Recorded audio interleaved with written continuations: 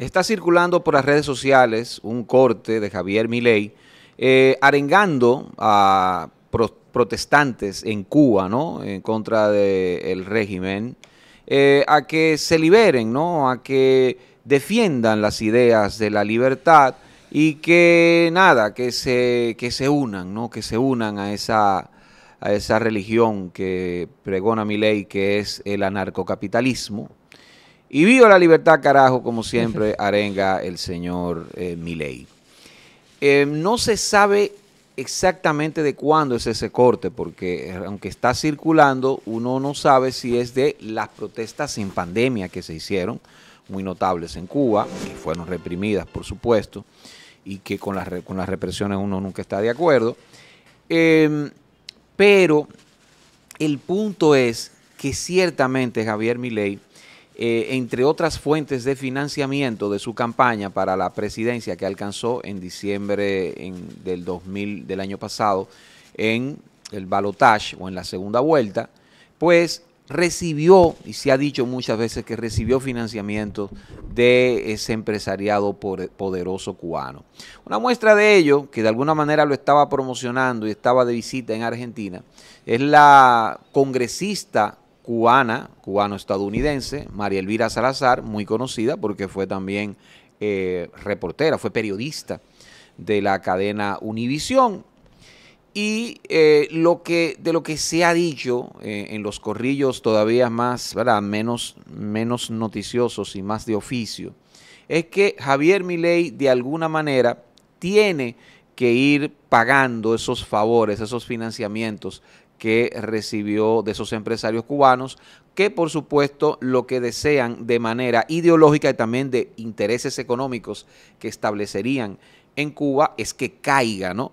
por fin eh, el régimen cubano, que está obviamente en crisis. Mi ley tiene que pagarlo. Si ese video, en efecto, sería, es viejo, se puede demostrar, pues no duden ustedes, yo no tengo la menor duda de que en los próximos días Javier Milei grabará un corte arengando a los protestantes a tumbar, a luchar para que caiga el régimen que ahora está en manos del presidente Díaz Canel.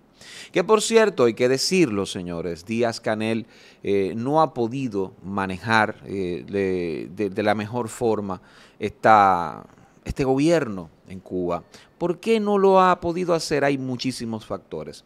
Hay que decir que el bloqueo, aunque se dice muchas veces, bueno, mira, el bloqueo y se usa como excusa, es cierto que está el bloqueo es cierto que hay un bloqueo fuerte contra el gobierno cubano y por ende contra su pueblo, porque es una medida que castiga mayormente al pueblo y ahora está en sus últimas eh, eh, porque no ha podido siquiera el gobierno, el gobierno cubano poder recurrir a ese juego, a esa válvula de escape que tradicionalmente usaba y, recurría al mismo gobierno de, Fidel Castro, que es el del mercado negro, el de conseguir las cosas por contrabando. Y ahora ni eso aparece, ni siquiera aparece para contrabando. Y eso es un problema serio, porque es verdad que literalmente hay hambre. Es verdad que literalmente no aparece con qué comer. Eso es muy cierto. Eso agrava la situación. Pero todavía más, todavía más, Díaz Canel no ha podido siquiera eh, poder parar la, la, vida, digamos, diferente eh, de segunda planta que se dan dirigentes cubanos, altos dirigentes del Partido Comunista Cubano respecto del pueblo. Y, eso, y eso es algo, escúchame, eh, eh, eh, Charro Bachatero, y eso es algo que lo tenía muy bien controlado Fidel Castro. Fidel Castro en ese sentido no, no daba chance. Fidel Castro tenía tenía a su gente y a su funcionariado, inclusive a su familia, en una suerte de fortaleza, donde aquí todos somos iguales y todos tenemos que tener una vida muy frugal. De hecho, para quien no me crea, pues busquen una entrevista que le hizo María Elvira Salazar, precisamente la congresista republicana cubano-estadounidense, eh, a una ex esposa de uno de los hijos de Fidel que desertó. Y cuando Elvira Salazar piensa que iba a dar un palo noticioso respecto de la vida suntuosa, ella decía, no, muchachos, teníamos nosotros que ir al mercado negro a josear un televisor. Tenía el, el, esposo mío, o sea, el hijo de Fidel, que decirle a empresarios que empezaban a hacer inversiones bien poderosas y significativas ya, que lo invitara a una cena. O sea, la, hizo quedar, hizo quedar al tipo como el hijo, como el, príncipe rastrero de un rey. Que eso es lo que ella quería hacer, era totalmente lo contrario. Y no le salió. Entonces Díaz Canel no ha podido siquiera tapar eso. O quizás no ha querido. Y eh, mostrando una nueva vez el descontento en la población, diciendo, en efecto, eh, pero ven acá, uno de los postulados de, del comunismo en el que se basó Fidel, que era el soviético, es que todos somos iguales. Entonces ya no somos iguales, ya no somos iguales. Y la gente, y la gente va a protesta por eso, ¿no? La gente protesta porque obviamente hay unas diferencias que Díaz Canel o no está interesado en que, en, en, que, ¿verdad? En, en manejar la apariencia siquiera, o sencillamente por ineptitud no ha podido lograr. Se pueden mezclar las dos, yo creo, ¿eh? Pero miren, no solamente desde ahora el pueblo cubano obviamente está pasando hambre, aún con Fidel Castro, aún con Fidel Castro teniendo todo este control y, todo lo que estaba explicando Edwin, yo tuve la oportunidad de vivir a 15 minutos de Varadero en un pueblito que se llama Sabanilla, que pertenece a la provincia de Matanzas. Y la gente de ahí, los habitantes que tuve la oportunidad de platicar con todos esos viejos, a mí me comentaban que cuando Fidel decidía ir a su villa, a su finca que tenía en Varadero, que en ese momento Varadero era el centro turístico más importante del mundo, búsquenlo ahí, National Geographic tiene una publicación, una revista de 1998, si no me equivoco, donde habla de Varadero como máximo, una playa impresionantemente bella y el puerto turístico más importante del mundo en esa época. Y él tenía una villa ahí, me decían los los comunitarios de ahí que había que cerrar las calles. Varadero se divide en calles por números, de la 1 a la 99, y tenían que cerrar creo que de la 1 a la 35 porque el señor Fidel llegaba en un helicóptero de la Fuerza Aérea y aterrizaba en la playa de Varadero para acudir a su finca. Ningún extranjero, ningún cubano podía estar en esas áreas. Entonces, en ese, en ese sentido, yo le estoy diciendo lo que a mí me dijeron más lo que yo he leído en la biografía de él que coincide y además coincide también con las declaraciones que ha hecho uno de sus guardaespaldas también y una cocinera que creo que fue también la periodista Salazar que también la entrevistó, la cocinera, una de las cocineras privadas de Fidel Castro porque creo que tuvo como 80 porque se cuidaba muchísimo por todos esos intentos de asesinatos que tuvo a través de la comida y a través de otras, de otras cosas. Pero miren cómo era esto en ese sentido, porque eh, muchos piensan que cuando Fidel estaba, digamos que el pueblo cubano tenía mayor accesibilidad a cosas y cuando yo estaba allá no era así. No era así. O sea, los, los cubanos han sufrido durante más de 50 años la escasez de alimentos, la escasez de electricidad, la escasez de drenajes públicos. Han sufrido muchísimo. Últimamente, cuando Raúl estaba como presidente, fue que se abrió un poquito o que los norteamericanos decidieron desbloquear ciertas áreas. Por ejemplo, les permitieron el acceso a Internet, les permitieron que los cubanos pudieran recibir remesas, porque antes era imposible tú recibir una remesa. Antes los cubanos no podían vender un vehículo o no podían vender o alquilar una casa. Ahora ya se puede. Hubo un cierto, una cierta apertura para que el cubano tuviera acceso a estas situaciones. Cuando Fidel Castro estaba, si bien es cierto que existía este mercado negro este contrabando de artículos, porque por ejemplo a mí me sorprendía que aún estando el bloqueo, cuando yo estaba en las playas de Varadero, yo encontraba Coca-Cola.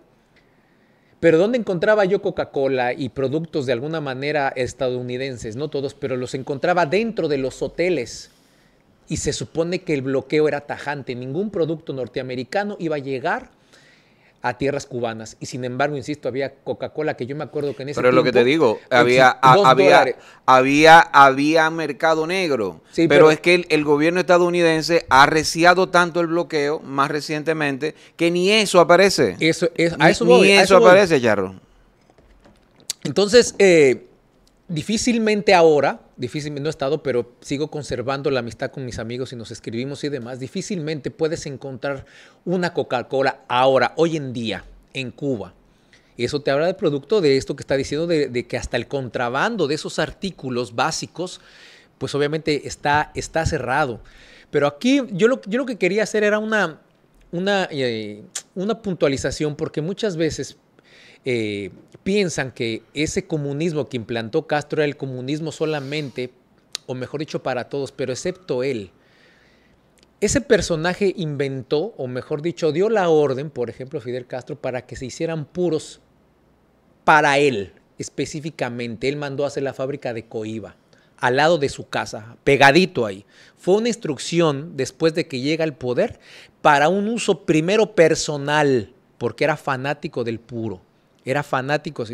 Y eso lo transportó después cuando un poco empezó a viajar y visitaban los jefes de Estado Cuba como un regalo, ¿no? De una caja especial de coiba para todos los jefes de Estado. A donde iba Fidel Castro afuera, llevaba su caja de cigarros para regalarlo al país o al presidente que lo iba a recibir. Lo que te quiero decir es cómo él luchaba por ese comunismo, cómo estaba pensando que todos o comemos huevo todos o comemos yuca todos, nadie puede comer carne aquí si no comemos todos. Sin embargo, él se daba ese tipo de lujos por ponerles un ejemplo. ¿Y qué está pasando con el actual presidente? Precisamente que yo creo que no tiene esa capacidad, ni siquiera de talento para poder manejar una situación, una crisis eh, alimenticia que viene sufriendo el pueblo desde hace más de 50 años y además no tiene el control militar ni el poder militar que Fidel Castro tenía que esa es una de las cuestiones que Fidel Castro cuidó perfectamente bien para seguir teniendo control absoluto de todo lo que sucedía en esa isla.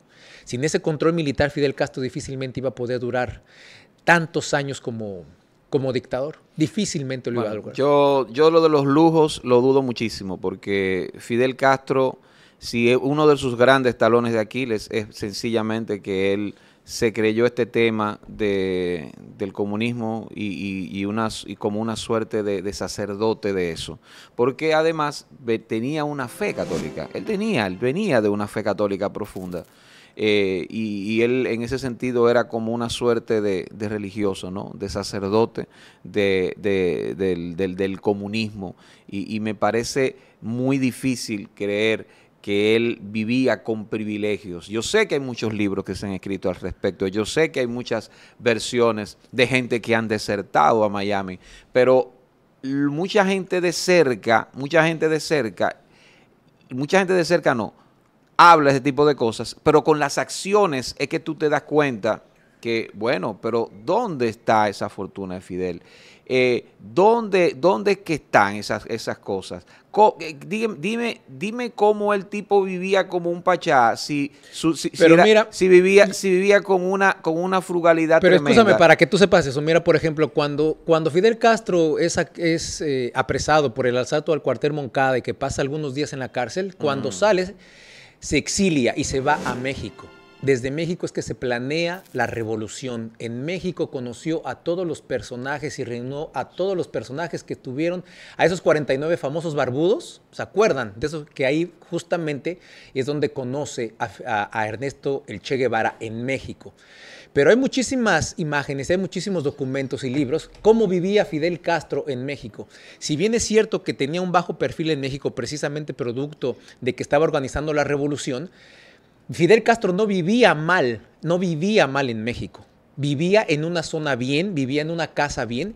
Y hay unos comentarios de escritores que se refieren a que Fidel Castro siempre estuvo bien vestido, siempre andaba eh, regio, siempre andaba con ropa buena, no sé si de marca o no en esa época, pero andaba con un buen reloj, andaba vestido, andaba en un buen carro en, México, en la Ciudad de México. Creo que era la colonia Santa Úrsula Cuapa, si no me equivoco.